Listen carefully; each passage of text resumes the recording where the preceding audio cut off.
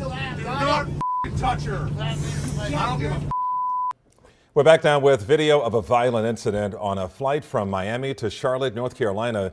A passenger reportedly got into a heated dispute with the woman sitting next to him. Authorities say that's when several other passengers jumped into action. Eden's in the studio with us now with what that person who recorded the video says really happened, Eden. Yeah, Nicole Calvin, the passenger who captured the now viral video, says for some reason there was tension on this flight from the very beginning.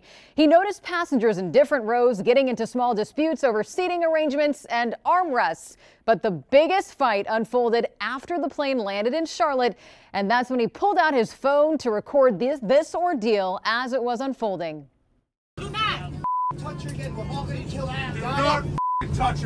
You've heard the term fight or flight, but this was a fight on a flight. A Captured on cell phone video by passenger Arjun Singh, who was a few rows down. It was very unusual. In the footage, it appears a domestic dispute between a man and a woman escalates just after the American Airlines plane coming from Miami landed in Charlotte. Onlookers jumped in to stand up for the woman.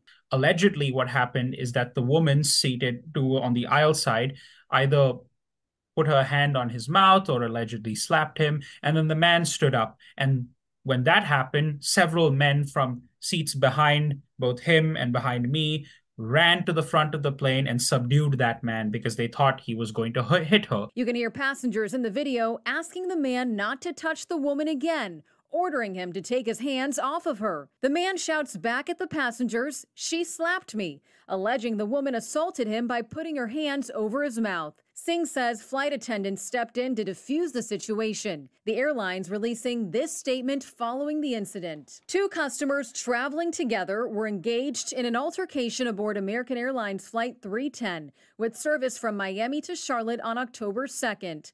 Local law enforcement responded and escorted the customers from the Charlotte airport.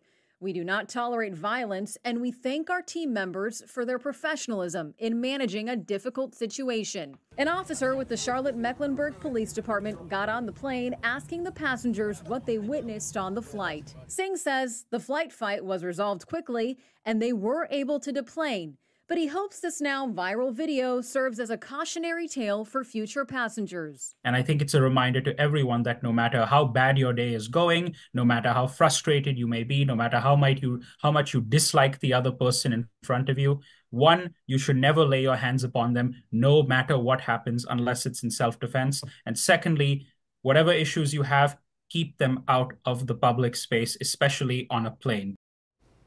And according to the police report, the 53 year old woman who was part of this incident had alcohol in her system. Her relationship to the man was not disclosed. Back right. to you.